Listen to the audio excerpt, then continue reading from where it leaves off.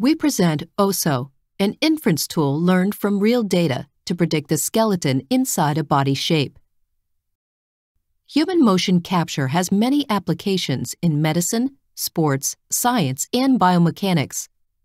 These applications typically require knowledge of the bones and how they move. With paired observations of the body's surface and the internal skeleton, we could learn a mapping from the body shape to the skeleton, but no such data exists. With OSSO, we make a step to address this problem. Our insight is to use DEXA scans. A DEXA scan is a pair of 2D images one showing the external body and the other showing the skeleton. We align a body and a skeleton model to those images, and thus build a dataset of paired body and skeleton meshes to learn to predict the inside from the outside.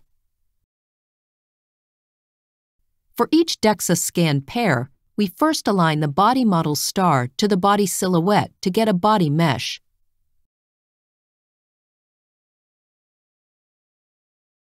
Then we align a skeleton model to the skeleton silhouette to get a skeleton mesh.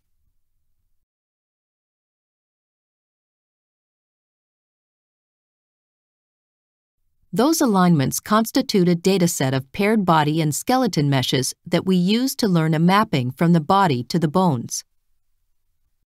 From that data, we learned, for each gender, a PCA model of the skeleton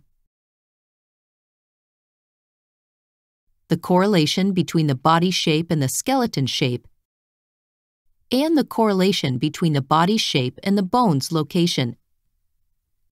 At inference time, given an unseen body shape, we predict the skeleton shape and bone landmarks, then optimize the skeleton to fit those. Finally, we can repose the skeleton to a target pose.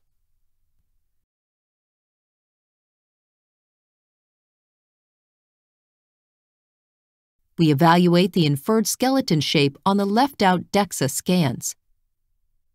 Given a DEXA skin image, we align STAR, infer the skeleton, and compare it to the ground truth DEXA. We show that we outperform our baseline, anatomy transfer. We show inference results for clothed subjects from RenderPeople. Those are part of the Agora dataset, which include high-quality SMPL fits to the scans. We fit STAR to SMPL and then apply OSSO to estimate the pose skeleton.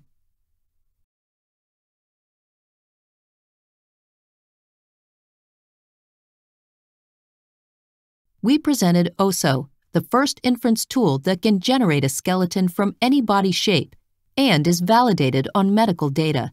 The inference code is available on GitHub. Please visit the project webpage for more details.